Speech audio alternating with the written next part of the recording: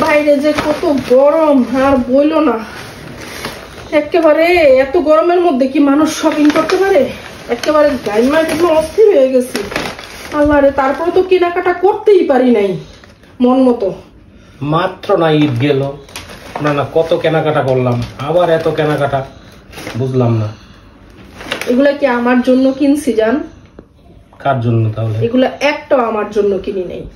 এগুলো যে আমাদের ঘরে যে কাজ করে না আমাদের ঘরে সমস্ত কাজকর্ম যে করে তাদের জন্য কিনছি। ও আচ্ছা। ওকে তাহলে সুন্দর করছ। ওকে।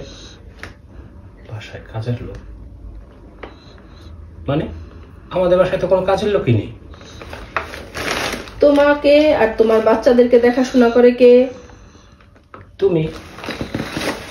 এটা তার জন্য। তারপরে তোমাদের খাবার রান্না করে খাওয়াই কে? তুমি। এটা তার জন্য। তারপরে তোমাদের ঘর পরিষ্কার করে কে? তুমি।